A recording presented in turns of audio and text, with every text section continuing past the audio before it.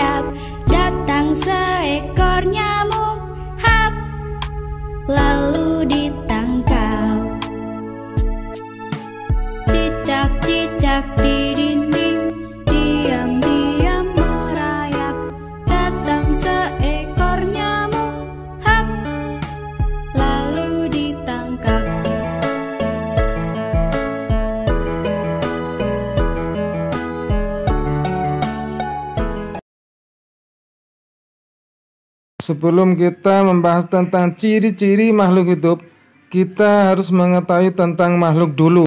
Makhluk dibagi menjadi dua, yaitu satu makhluk hidup, dua makhluk tak hidup.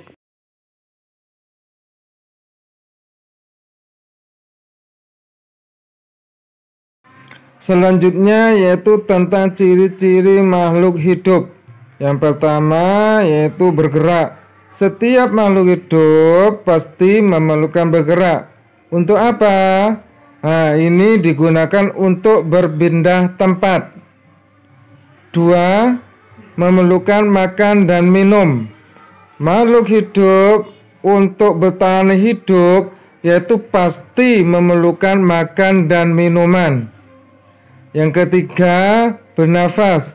Untuk bertahan hidup, pasti makhluk hidup memerlukan udara, yaitu untuk bernafas.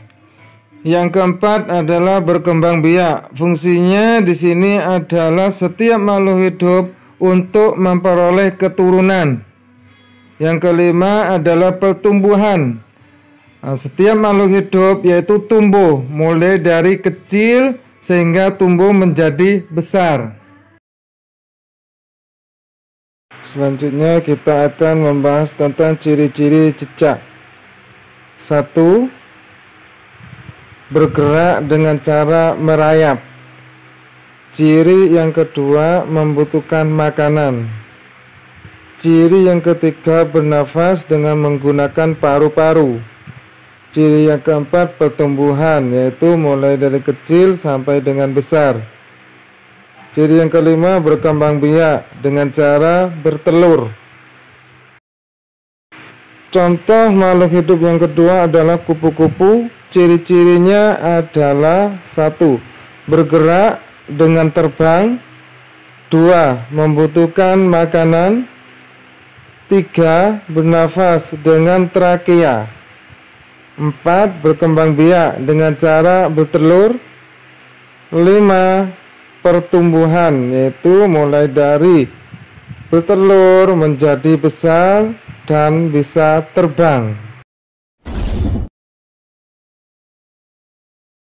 Pembahasan selanjutnya adalah membaca dan menulis bilangan. Contoh satu ada angka 1592. Satu menunjukkan ribuan. 5 menunjukkan ratusan 9 menunjukkan puluhan. 2 menunjukkan satuan. Jadi dibaca 1592 Contoh yang kedua adalah 2480 2000 sama dengan 2000-an 400 sama dengan 400-an 80 sama dengan 80-an 0 0 satuan. Jadi angkanya adalah 2480